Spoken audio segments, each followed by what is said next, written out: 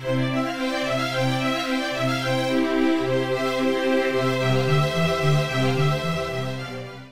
is a bonus block for the Mastering the Minis course. This is a flower block. You've seen this block all over the place. It has contrasting fabrics on either side.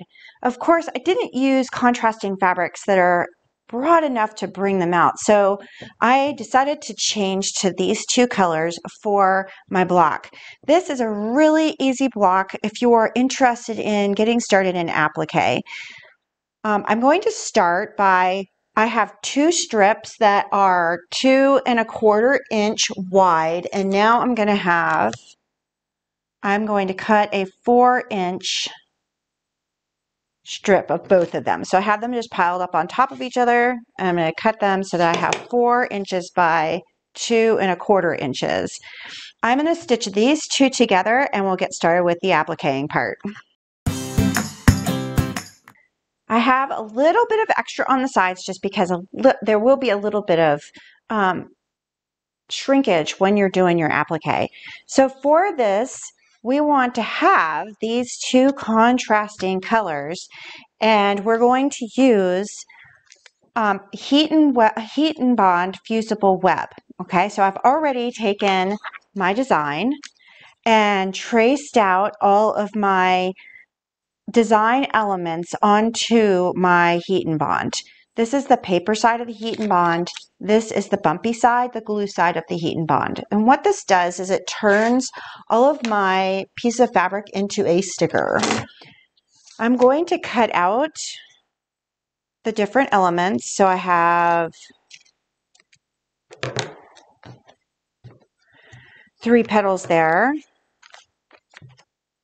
I have a circle center for another piece of fabric.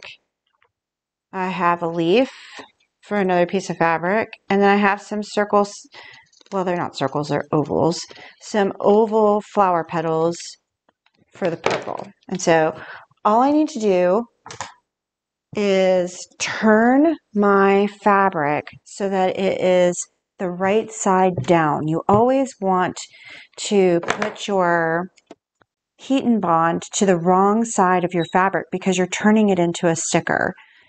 And you don't need any steam with this. You just iron it down. And then the best results I've had are if I let it cool. So this is my wrong side up. And this is a perfect use for scraps.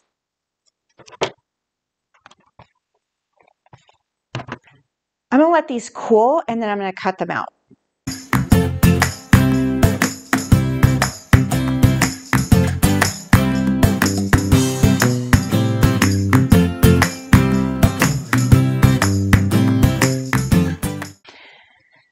You can tell I really like this green polka dot because this is all I have left. Luckily, it's enough for all of my, my two leaves and my stem. And then I have my purple and my beige, and I've decided to use this nice dark purple for the center of the flower. So I'm going to cut all of these out now that they're cool. I think that they cut easier once the fabric has cooled. And so now you notice that I had rough cut all my designs out. Now I'm cutting directly on that line. And just to be fun, I can start placing them into their order. Oh, it's so much better when you have a really good contrast between the two elements.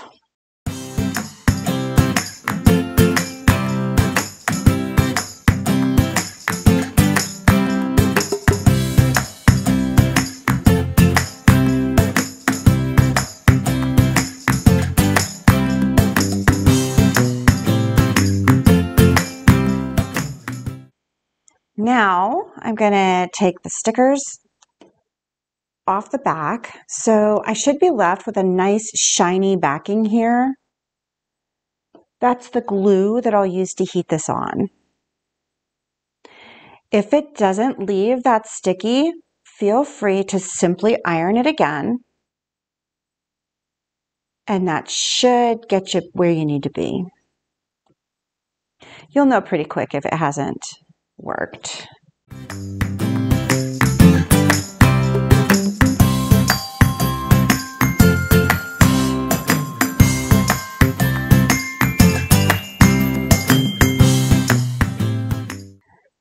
Before I iron everything down, I want to just double check that I have a good quarter of an inch all the way around my block so that when I go to stitch into my quilt, I'm not going to have any problems. Last thing I want to do is stitch on my applique when I'm putting it in my quilt. And then all I have to do is put it in place where I want it. And now I'm going to press. When I press, I press down like that and don't move. If I move it, there's the possibility that my applique pieces will move too. So once I have them pressed in place, then I can move things around just a little bit.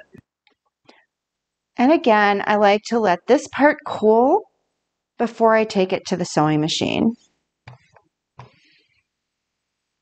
To stitch down the applique, I'm going to use a blanket stitch with Premium Invisible Thread by Sulky. It's um, very fine, um, almost fishing line type of thread, and I love using it for products projects that have multiple different colors.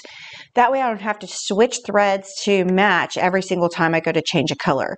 In my bobbin, I have my regular Aurifil thread is what I use um, by choice, and so that's what's in my bobbin as it has been in my project, and I don't have any problems.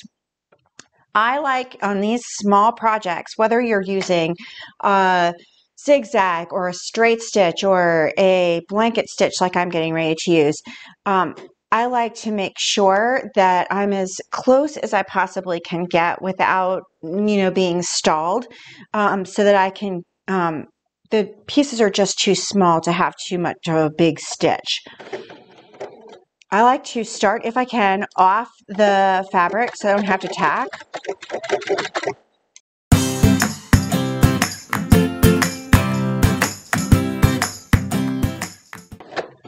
I also try to combine elements as much as possible, so I'm going to go straight into my circle center.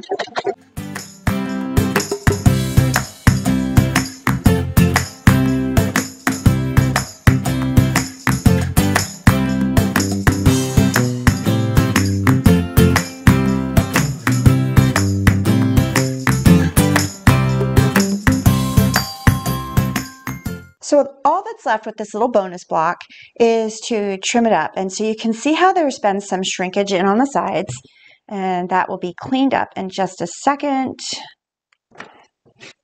along with all those stray threads.